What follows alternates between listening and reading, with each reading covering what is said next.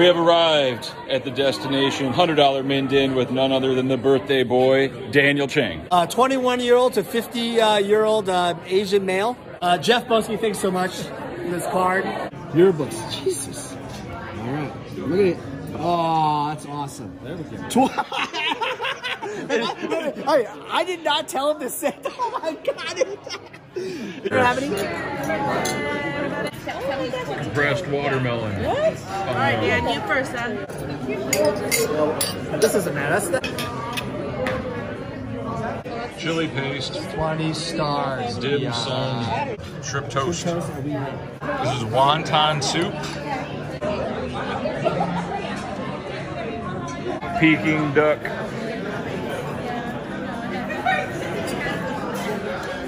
Peking duck wrap. Peking duck sweet bun.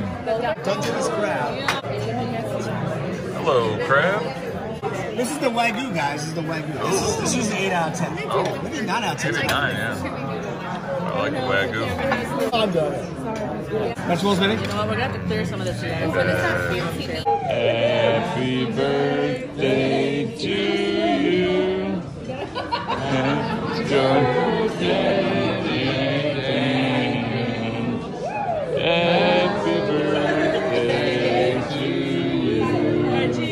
I want to Wynn some money. That's all I want to do.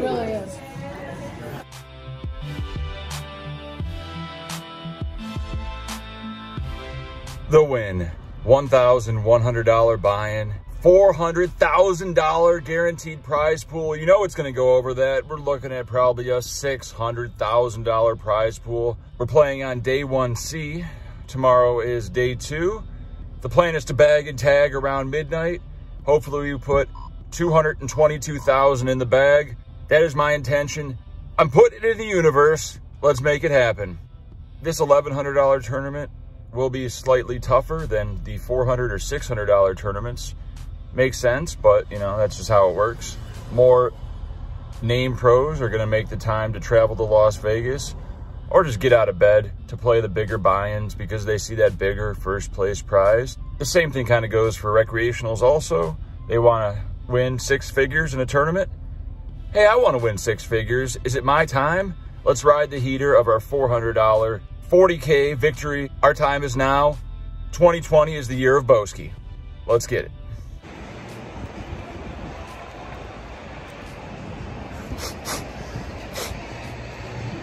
Smells like victory in the air.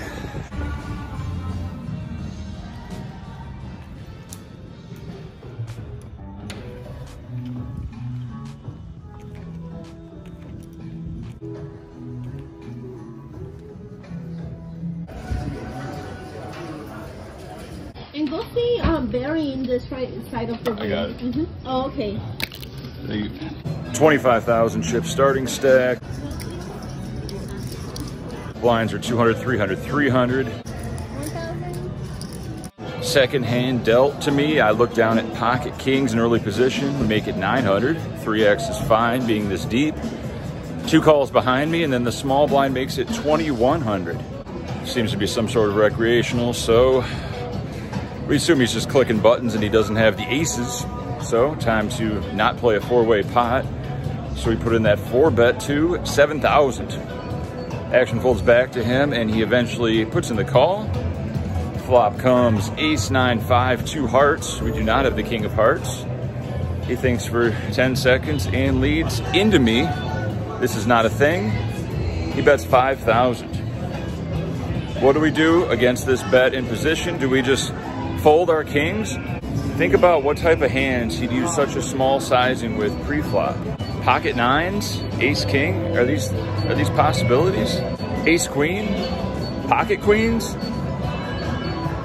It's really hard to put a man on a range when he might not even know what he's doing to begin with.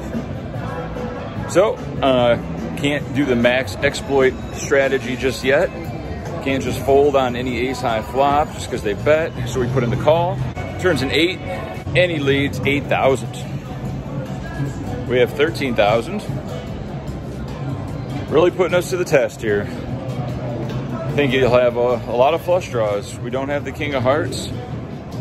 King queen of hearts, jack 10 of hearts. We're just hoping he's just clicking buttons or he's got a heart draw. So let's keep him honest and put in the call. The river's a four of diamonds. He checks. Looks like he's giving up with his missed flush draw. We check behind, no reason to bet. And he shows ace king offsuit. And we have 5,000 chips decimated.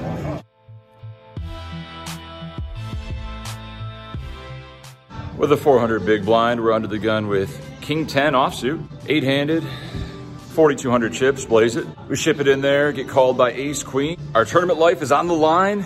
Let's get there. What is your name? Sean. Where are you from, Sean? Montreal, Canada. Thank you. Canada. Queen.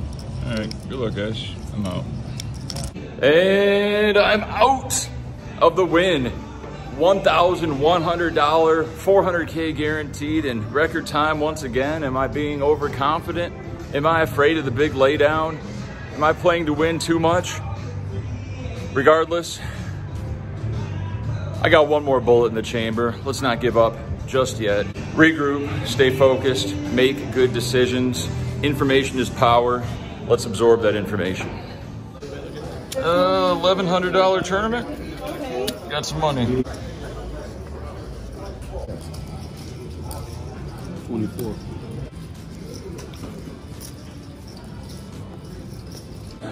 Our new table looks very soft. A very pleasant surprise in a $1,100 buy-in tournament, but the Wynn will bring in the pros and the recreationals, so I always appreciate a nice mix. With blinds at 200, 400, 21 to 35 year old Asian male limps under the gun. Action folds to us on the button, and I look down at Ace King offsuit. 23,000 chips in our stack, a mandatory raise. Let's go 4X, 1600 to play. Small blind calls, and the under the gun limper rips it in my face. Just over 15,000 chips. What's he repping? A mid pair? Ace queen? I don't know, but we're not raised folding this hand for 40 blinds. I put in the call, small blind folds, and we're up against ace, jack, a dream scenario. Let's hold. All right. Versus ace jack. Ace king's good. Let's hold.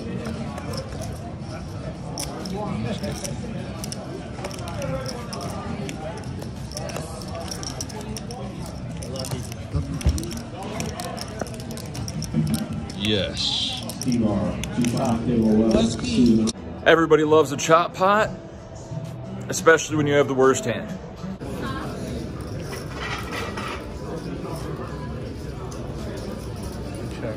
We have one player at our table, sunglasses, headphones, hat, and hoodie, who's playing every single hand. Uh, a lot of limping, a lot of min betting, a lot of min three betting. A real action player, but we're looking to get involved in pots with him.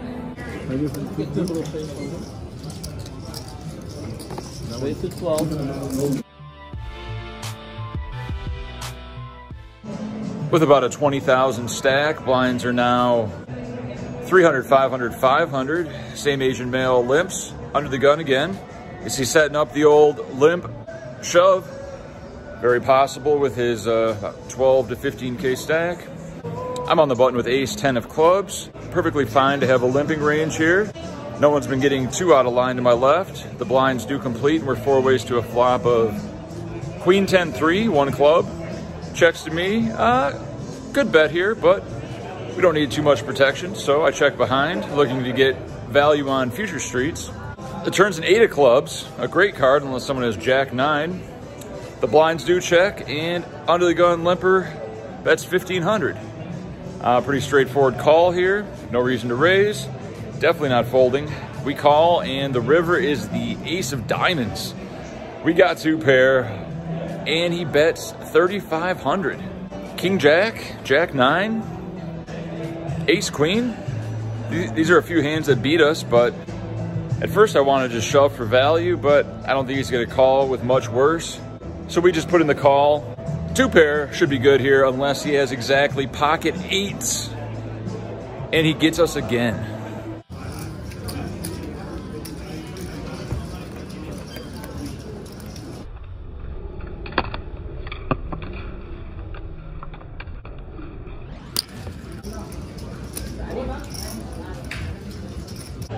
And we are on the 420 break with 30,000 chips.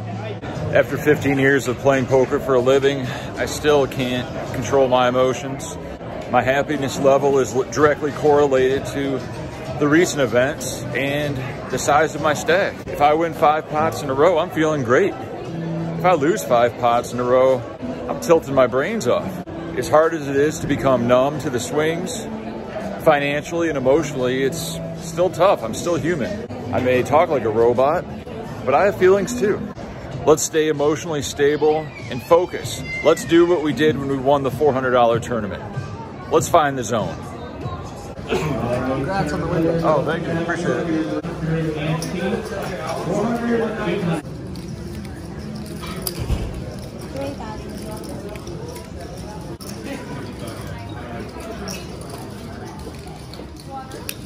The table's been playing very tight, very straightforward, so it's time to change things around here. Under the gun opens to 2,000, possibly Hawaiian male, age 21 to 30. Action folds me in late position. I have King Queen offsuit, 25,000 chips, a great candidate for that three bet. Make it 5,500 or repping aces. Action folds to the small blind. Older Middle Eastern male with a sleeve on his head. Shoves all in for 18.5 under the gun folds, and we're in a horrible spot. Cold four bet versus these positions against any sane opponent. Our king queen is going to be behind for sure, but are we getting the right price to call? Against a range of maybe 10s plus, ace king, ace queen, we might have 35% equity. We're getting about two to one on the call, but I'm just not feeling it, and we put in the fold. He doesn't. And we have made it to dinner break, two bullets, $2,200.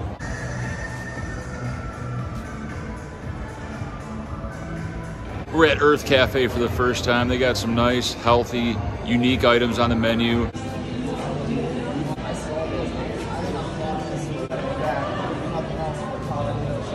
Real first class dining, 30 bucks for dinner, pretty reasonable. Let's enjoy turkey burger, chai boba tea, and some Granny Smith apple pie. I haven't called a clock on anybody in probably a year, but all good things must come to an end. I had to call the clock on Christos, notorious tanker. Doesn't even do it for a reason, just does it to tilt people, just to troll the whole table see how long it takes before someone calls the clock on them. Unacceptable. But not going to tilt us. We're here to do work. When you're in for $2,200, you can't let these external factors affect your judgment. Every hand is important. I have to make good decisions in every spot. And the rest is up to luck and fate.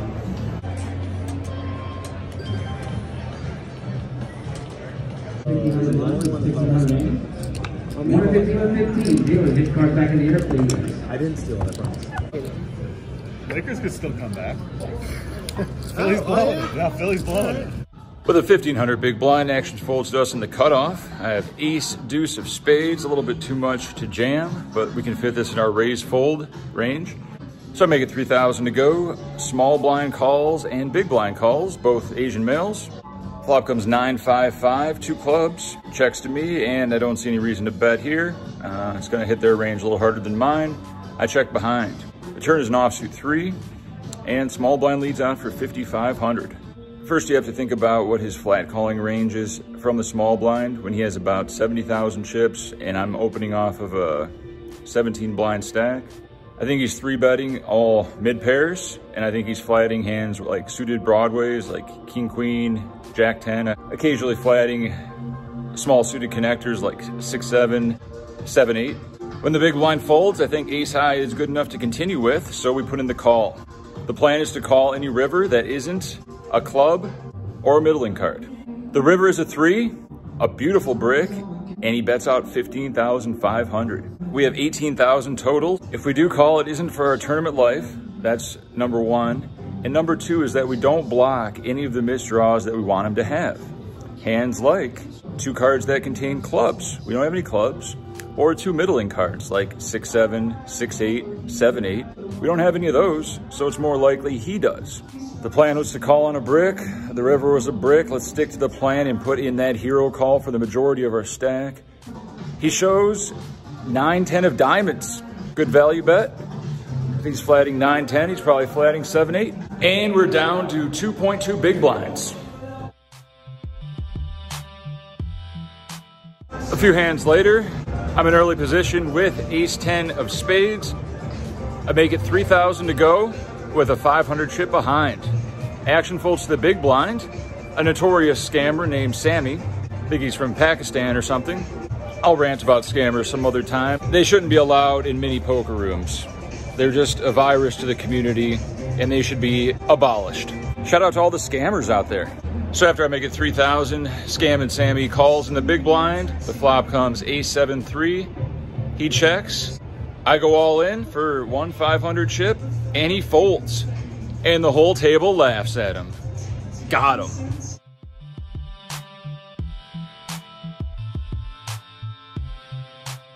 I have to fold my big blind.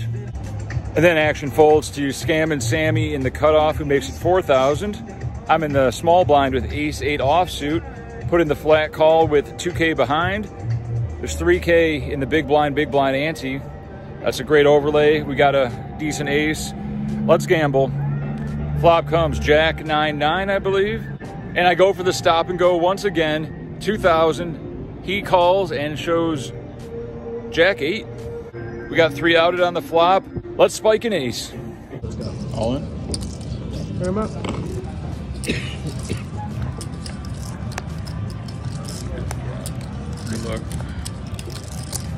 And I am out of the Wynn $1,100, $400,000 guaranteed tournament. Two bullets, $2,200. Gone.